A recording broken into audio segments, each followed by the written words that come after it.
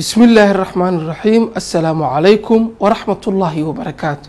maanta ay taariikhdu tahay lix labaatanka bisha maarso sanadka laba kun iyo labaiyo labaatan madaxweynaha jamhuuriyadda federaalk soomaaliya mudane maxamed cabdulaahi farmaajo ayaa madaxtooyada qaranka ee villa soomaaliya waxa uu kulan kala qaatay taliyayaasha ciidamada qalabka sida ee soomaaliyeed ee militariga booliska asluubta iyo nabad sugidda oo ay wehelinayeen gudoomiyaha gobolka banaadir mudane cumar maxamuud maxamed filish iyo ku-xigeenkiisa arrimaha amniga iyo siyaasadda oo uu kala hadlay adkeynta amniga guud ee dalka iyo kan gaarka ah ee caasimadda soomaaliya ee muqdisho. Madaxweynaha jamhuuriyadda ayaa ka dhageystay talisyada booliska iyo nabad sugidda soomaaliyeed warbixin ku saabsan baaritaanada hordhaca ah ee ciidamadu ay ka sameeyeen weerarada argagixisanimo ee ka dhacay toddobaadkii la soo dhaafay magaalooyinka muqdisho iyo beledweyne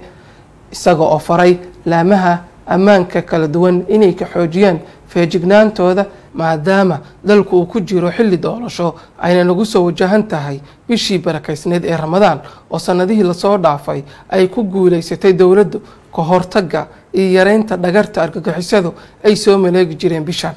sidoo kale madaxweyne maxamed cabdulaahi farmaajo waxa uu kala hadlay taliyayaasha ciidamada qalabka sida muhiimadda ay leedahay in askarta iyo ciidamada kala duwan ee dowladdu ay u dhibriyaan shacabka xiliyada lagu guda jiro sugidda ammaanka guud ee dalka